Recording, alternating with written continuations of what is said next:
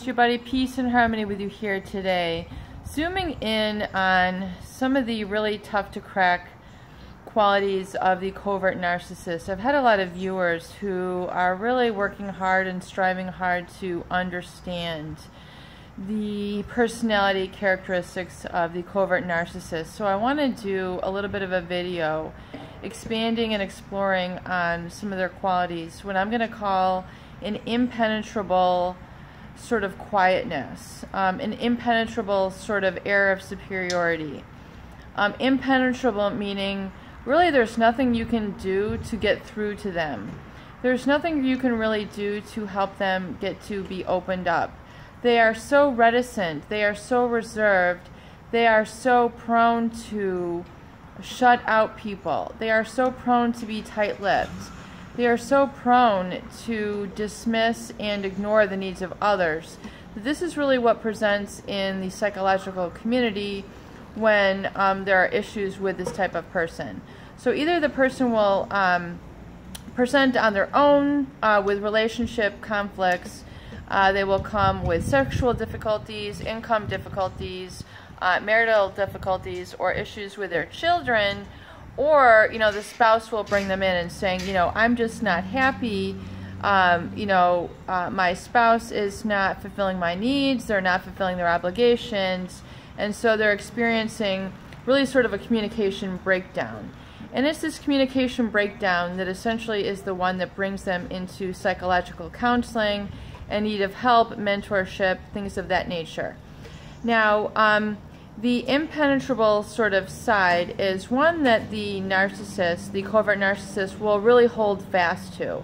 So they, they create this external shell, they create this facade, they create this mask in order to belay and really sort of hide an inferior sense of insu uh, insuperiority or insecurity. So they've, they've developed this essentially as a way to adapt. So can we forgive them for this? Can we let them go for this? Uh, perhaps we can. Um, it's, it's my position in studying psychology and education and working in social services and what have you that absolutely um, it is our role to uh, judge less and love more. So, yet, this does not mean that you have to stay in abusive situations. Absolutely, positively. You know, there, there's, you know, there's a reason for people's behavior. Uh, there's an origin. There's a cause to it. Um, Yet it does not mean that you should, you know, pay their price and, you know, live in an abusive, hostile, violent situation, um, you know, or being neglected. I mean, this is this can have life-altering consequences. So I want to I want you to understand that oftentimes this the covert narcissist will maintain this impenetrable sort of stance. I mean, they're not really emotionally available oftentimes um, to be available in, in relationships. So it becomes pathological, meaning unhealthy in nature when it's used to excess and when it's really created and, fostered in a way so as to hurt others.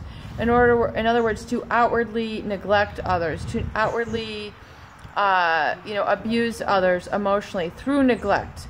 So it, it's more in their um, smugness that they tend to abuse and hurt and defile others. So, not being there when they should be emotionally available, um, not being loving, not being caring, not meeting people in the middle. That's where the abuse sort of essentially takes place. And that's oftentimes what presents then in the psychological community. So, can this exterior really be shaken off? Um, can they really improve? Can they move beyond it? Well, a lot of it really does you know, uh, relate to uh, that person and where they fall on that scale of uh, narcissist pathology. You know, how, you know, how, to what degree are they able to see this? To what degree are they able to understand that they, what role that they have played in creating an abusive environment? What, to what degree are they able to understand what they have done to perpetuate to perpetuate it and to what degree can they take then responsibility to correct things moving forward. Oftentimes, the issue that we see in the pathological narcissist is that even though, despite their abuse, they've absolutely positively felt they have done nothing wrong.